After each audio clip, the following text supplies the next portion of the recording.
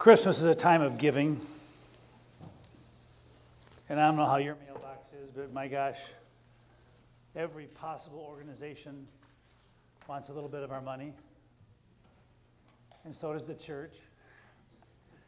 Hard to get out of here. You put your offering in, you walk out the door, and somebody's at that table, there's a craft show going on, and you go out, and you get home, and you go, boy, that was an expensive time. But you know, giving is really not about how much or how often. It's not about how much you make. It's not about how much you're worth. I came by the church last evening just to lock up and set the alarm, and the only light that was on was that little spotlight by the wooden nativity in the front lawn. And as I walked to the front door, I just looked at that little wooden nativity. It just has Mary and Joseph and Jesus. And I thought to myself, you know, that's it. That's what this season is all about. It's about a child, it's about a gift, it's about the humility of God's presence in our world. I mean, Jesus was born in a manger, born in a barn. The shepherds were the first ones to see him. These magi, wise men, came bearing gifts. Uh, all they did was kneel down and say thanks because they were captivated by Jesus' simplicity and humility and poverty. And this whole Christmas thing, it's really a way of life. It's about simplicity, humility, and goodness, and the power they can have in this world if we just give them a chance. It's about the power and the gentleness and the majesty of the collision of God's Spirit and the human spirit. And Christmas is a universal story. It's ultimately, totally a Jewish story. It's about a Jewish kid who led a Jewish life and died a Jewish death. And then after he died, it got complicated because then we invented religion, which often gets in the way. And the message of Christmas does not speak to just Christians. I mean, it speaks to Lutherans and Catholics and Jews and Muslims and Buddhists and even people that don't believe anything because it's ultimately a story about what's important in life and what's not.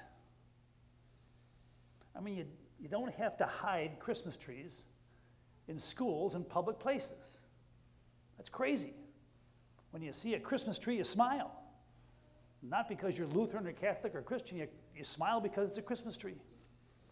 And you don't have to go around saying Happy Holidays. Say Merry Christmas. Because it comes from the heart. It's a blessing from inside of us onto somebody else. Just, we need to step back and enjoy the magic and universality and the message of what Christmas means. And sometimes we kind of get away from that. Do you go to places, you know, see, like ministers, this is my church, but there are other places that kind of be my church too, where I walk in and I'm not a minister. For example, Nagel's Auto Service. I go in there twice a week, either to fix my car or just to say hi. And I was in his waiting room, which is a service station waiting room. And I said, Dan, in this very room, you know, I get good news and bad news. You know, sometimes you tell me it's not no big deal down, a small leak is 75 bucks. And then the other time he says, Dan, it's a transmission that's going to cost you $1,525. In this very room, Dan, I saw your dad grow old. I saw you take over. In this very room, Dan, this place with grease and oil and dust and all that kind of stuff, I see people from our church sitting there. Some now who have died and gone before. In this very room, I see people with clunkers who can't afford to get their car fixed. In this very room, I've seen people hug their mechanic, which I do all the time. In this little room here, and it's not even a church. And then Danny says to me, Don, uh, I need to tell you something. Um, remember a year ago or so, we helped one of your parishioners get their car fixed? And I said, Yeah. He said, Well, she was in here today. And this is someone who comes here, but she does not ask for a thing. And she asked me how much it would cost to get her car fixed. She hasn't had heat in two years. And I told her, I said, I couldn't fix that car for what it's worth. I can't.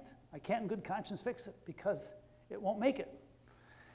And so he said, Don, there's a car here. The retired lady, she gave me the car and the title. She now lives in Florida. She just said, You keep the car, Dan. Can you sell it for 2000 bucks? And when you do, let me know. So Dan said, uh, Don, here's the first 200. And I said, That means I'm in it for 1800 He said, Yeah, I, Don, I know at your church, yeah, you, yeah you, I'll do two, you do 18. How does that sound? I said, That's, That sounds so Dan Nagelish, you know?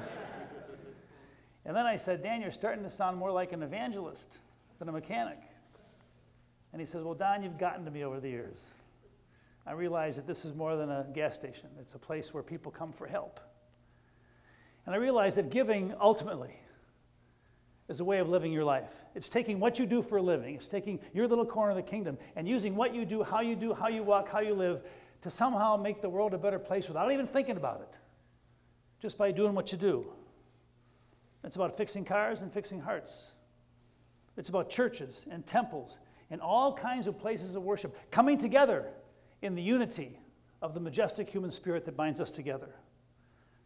It's about giving kindness and humility and generosity a chance to work in this world. And we don't need to be richer and stronger and right all the time. We just got to be who we are. Speaking of the word chance, um, and I know I mentioned this in my newsletter, but I only have one thought a week and I, I can't help it. But I mentioned um, I came here in July of 1974, and they were there over there. and after my first week, they had a potluck. Back in the days of potlucks, where the church would welcome me. And so we had a potluck dinner in what is now Charter Hall. And after the dinner, a lady comes up to me. And you could tell that she was like most people. She was a little frustrated because I was minister number six in the 12 years the church had existed. And she comes up to me, and her name is Mimi. And she looks at me and she says, Pastor, please give us a chance. Please give us a chance. And I looked at her, not knowing that 30 years later I'd be doing her funeral, not knowing that I would marry all three of her grandkids, not knowing that I would baptize all of her great grandchildren. I said, You're talking about me giving you a chance. I said, No, no, no. You need to give me a chance. I mean, I just got out of school. I'm 25 years old. I know nothing about being a minister. I'm shaking in my boots. You need to give me a chance. I think of all the people over the years, and you can think of your journey too. All the people in your journey who have given you a chance. How many people have given you the chance once in a while to succeed? How many people over the years have given you a chance even to fail? How many people over the years have given you a chance to be yourself, to be true to yourself, and try to find yourself in your niche in the world? And how many times have I been afraid to give other people the same chance I've been given? Because I get a little bit too selfish and wrapped up in myself. You see, Christmas is about God giving us a chance. It's about Jesus giving us a chance. And because giving somebody a chance is risky, it can hurt, it can make you sad. Every once in a while, when things go right, it makes you sing a whole big hallelujah. So, in this very room, a lot of us have been given a chance. Nobody more than me, the chances you've given me over the years. And I will never, ever again take those chances for granted. And there's lots of people out there in the world, and maybe some of you in here, for whom life has not given you much of a chance. And I guess, ultimately, that's why we're here. Amen. If you're able to, please rise for the creed. It's on page 105.